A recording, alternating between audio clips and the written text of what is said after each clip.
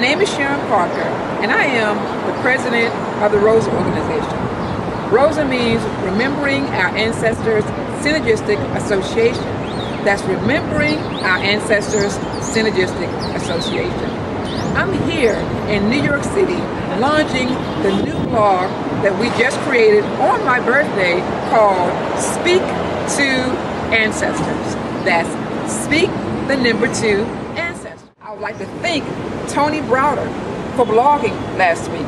I would like to also thank Sir Charles Carey, Robert Norman, Joe Seeley, and also I would like to thank Mr. Bernard Dimchuk for his support on our new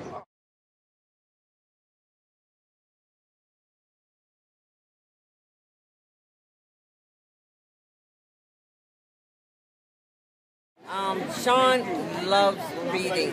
Seann actually started reading on the computer when he was about, actually about a year and a half. We would put him in front of the computer and he would do the alphabet with letters and words and he would pick it up.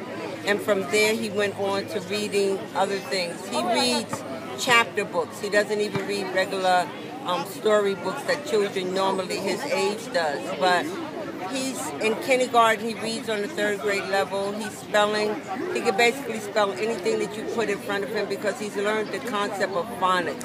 So he's able to see the word, think about it, and sound it out and spell it. His new latest word is integrity. Not only can he spell it, but he can tell you the meaning of integrity he has a passion for reading. And I feel like when we introduce our children to books early on, they love them and the world opens up for them. There's nothing that they can do once they learn how to read very well. He not only reads, but at five, at four, he was doing math word problems. He loves writing out word math problems and solving them. Awesome. Thank you, Seann. Thanks for blogging to our new blog called Speak to Our Ancestors. We're going to do a video for you on YouTube, so we want to make sure that it's okay with you and your grandma. So say, tell me if it's okay, and then I'll make it happen. It's fine with us. We approve. That's fine. Awesome. Consider it done. Thank you.